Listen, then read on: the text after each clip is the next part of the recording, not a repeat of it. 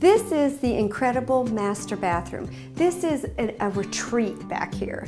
This bathroom just says it's warm, friendly, inviting, never leave. It's all done with Carrara marble. There are all different sizes and shapes of marble in this bathroom. We have them set elongated vertical style soldier cuts on the back of the shower. We have the same inside the shower going around a round shower. We've got a Versailles pattern on the floor, which is a straight edge.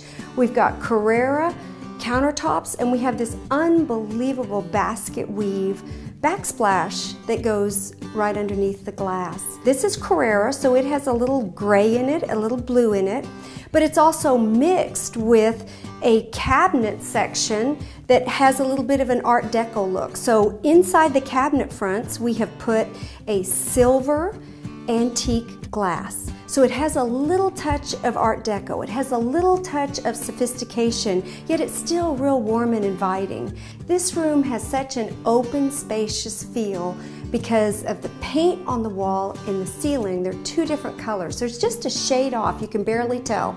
And then it's flanked by these incredible dark stained beams, which are asymmetrical over the tub. So it has a little twist to it. It's not totally classic. It has a little bit of Art Deco in this room.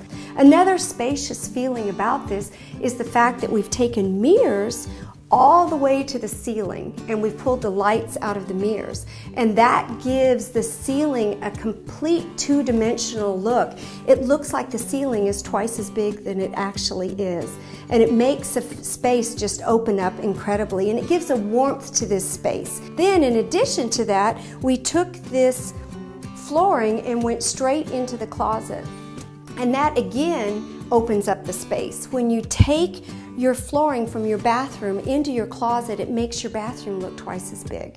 And so we've done that, and it's an incredibly spacious closet. We have places for absolutely everything. It was a very well planned closet. You can put your shoes in a certain place, you have hanging clothes that go in another space, and it's all adjustable. So for any customer, it's absolutely perfect.